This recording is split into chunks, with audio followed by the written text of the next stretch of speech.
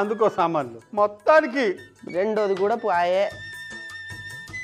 ఎందుకు బాబాయ్? వాళ్ళకి ఇంగ్లీష్లోనే డెమాన్స్ట్రేషన్ మరి కాకపోతే అక్కడ విదేశాలు వస్తే వాళ్ళకి తెలుగు అర్థం అవుద్దా? తెలుగులో చెప్తే వాళ్ళు ఇంగ్లీష్లో అర్థం చేసుకోలేరా? సామాన్లు అందుకోరా.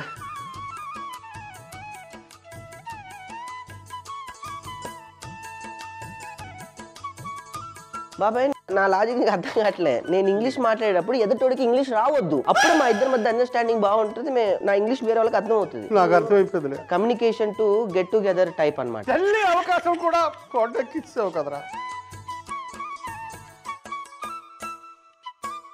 ఏం చెప్పట్రా నీకు? అందులో ఒక ఎనిమిది గంటలు నూనె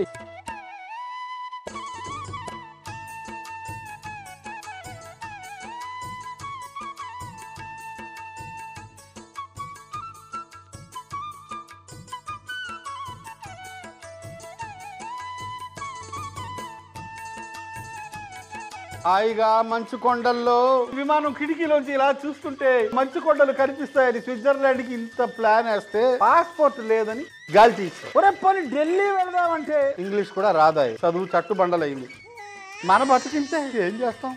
అనుకున్నవన్నీ జరుగుతాయా? ఆవాలు. కరివేపాకి. అంత కోపం ఉంది ఇప్పుడు నాకు. మంట తగ్గించు. కరివేపాకు వేసావు ఆవాలు వేసాను. ఆవాలు వేసావు ఉల్లిపాయలు వేసావు. అవును.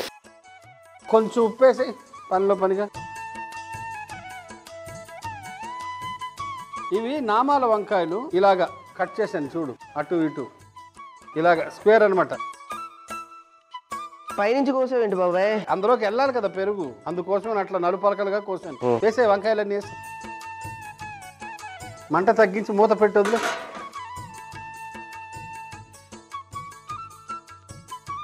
దాన్ని వదిలేయాలి అలా మగ్గుతాయి వంకాయలు.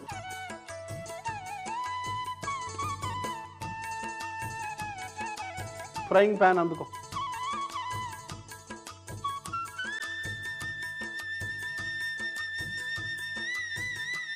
ధనియాలు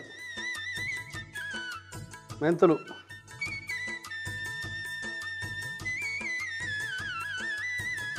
జీలకర్ర. వేగని. జీలకర్ర వేసాం మెంతులు వేసాం ధనియాలు వేసాం కొంచెం వేగిన తర్వాత నువ్వులు వేస్తాం దీన్ని చక్కగా పొడి కొట్టుకుని రావాలి. నువ్వు వెళ్ళి వచ్చే లోపల నేను వంకాయలను ఒక్కొక్కసారి మధ్య మధ్యలో కలుపుతూ ఉంటాను కొంచెం వేగిన తర్వాత నువ్వులే.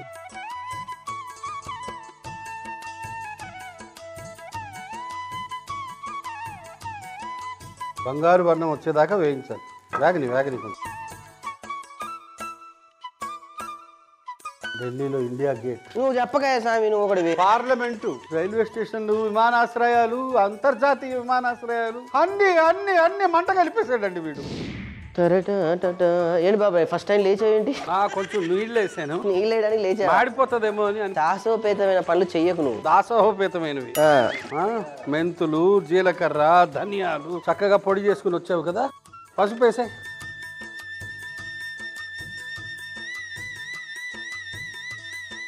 ఇప్పుడు ఒక చిన్న పదార్థం తయారు చేసుకుందాం. ఓకే. పుట్నాల పొడి.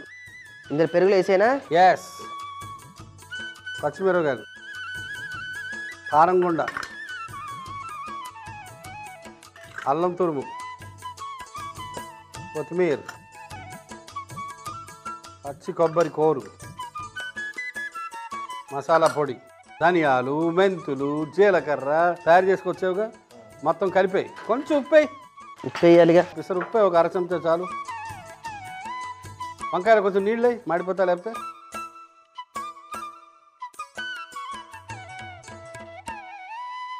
వదిలేదాన్ని కలుపు దీన్ని. పెరుగుతా అంటే మంచి రుచి ఉంటుంది అవన్నీ. దొహి బంగిణం. దీన్ని ఏమంటారు బాబాయ్? దొహి బంగిణం అంటారు పరంపరలో. దీన్ని ఇట్లానే కూడా అన్నంలో వేసుకొని తినొచ్చు బాబాయ్. అంతే. ఇది వేసిన తర్వాత ఒక్క ఉడుకు రాగానే బంద్ చేశాడు. ఇంక ఎక్కువసేపు ఉంచకూడదు. వేసేనా? పెరుగు కదా వేసి. బాగా కలుపు కొంచెం. కలిసిపోయిందా? వేసాయి. ఒక పిసరు నీళ్ళు వేసి జాడించే.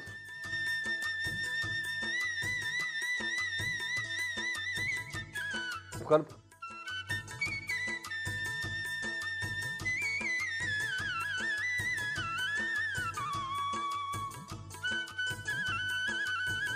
జాగ్రత్త వంకాయలు ముట్టుకోకూడదు. ముక్కలు ముక్కలు అయిపోతాయి. దాన్ని ఎక్కువ కదిపితే. కదపొద్దు మెదపొద్దు. ఒక ఉడుకు రాగానే బంద్ చేసేయాలి. ఓకే.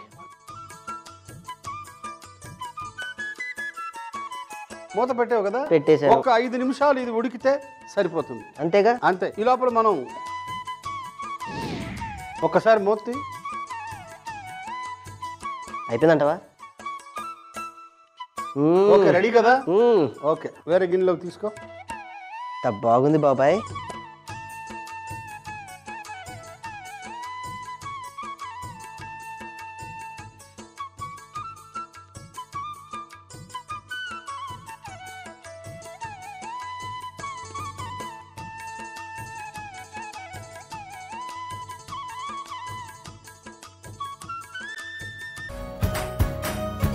ముందుగా ప్యాన్లో ధనియాలు మెంతులు జీలకర్ర నువ్వులు వేసి వేయించి పొడి చేసుకోవాలి. తర్వాత బేషన్లో పెరుగు పుట్నాల పొడి పచ్చిమిర్చి కారం అల్లం తురుము పచ్చి కొబ్బరి తురుము ముందుగా చేసుకున్నటువంటి మసాలా పొడి. వీటన్నిటిని గిన్నెలో వేసి కలుపుకోవాలి. తర్వాత గిన్నెలో నూనె వేసి వేడెక్కాక అందులో ఆవాలు కరివేపాకు ఉల్లిపాయలు ఉప్పు వంకాయలు వేసి ఐదు నిమిషాల పాటు మగ్గించి అందులో పసుపు బేషన్లో కలుపుకున్న పెరుగు మిశ్రమం కూడా వేసి ఐదు నిమిషాల పాటు ఉడికించి కొత్తిమీర చల్లుకుంటే పెరుగు వంకాయ రెడీ.